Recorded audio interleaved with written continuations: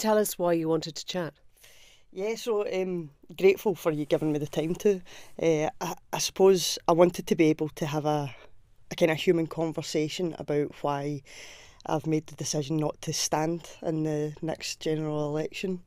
Um, so yeah, I thought uh, no better person to have the conversation with than yourself. You're not going to stand Not for the SNP. stand. Nah, I'm stepping down at the next election. Why?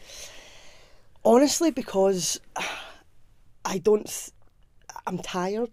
Uh, uh, uh, is a big part of it, and the thing that makes me tired is Westminster. I think it is one of the most unhealthy workplaces that you could ever be in. It's a toxic environment. It is.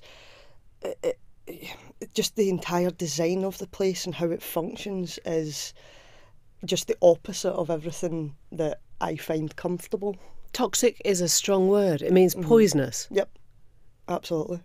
It's definitely a poisonous place.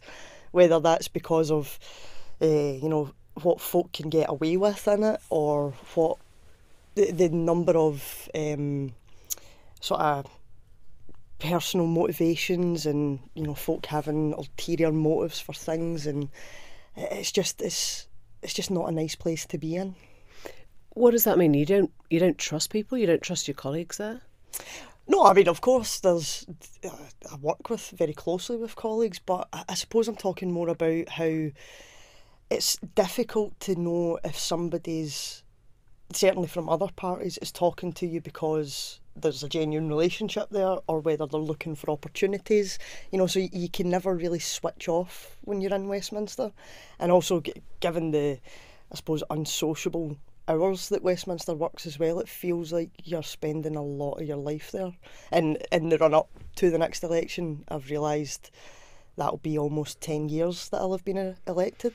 So a third of my life I've spent in Westminster, which gives me the ick. Yeah, you are you are too young to be tired I this early. I mean, to, to remind our listeners, you were 20 Yep. when you won your seat. You were the youngest person to be elected, I think, since the Act of Parliament. Mm-hmm. 300 years. Yeah, as far as I'm aware. Do you think that is part of the problem that you? I mean, it just presumably it mm-hmm. ate up your your childhood, your adolescence. Mm-hmm. You you weren't allowed to go and get, Yeah, as you would say, pissed. yeah. Oh no, I, I still manage to fit that in every now and then. Um, no, I- I think it's more.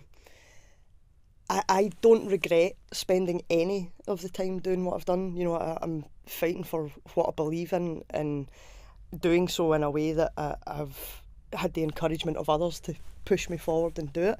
But I actually think the fact that I'm younger is partly why I suppose I see everything that's wrong so starkly.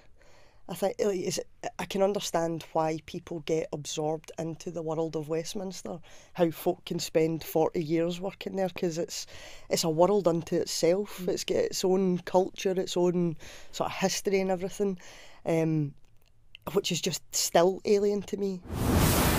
The News Agents. This is a Global Player original podcast.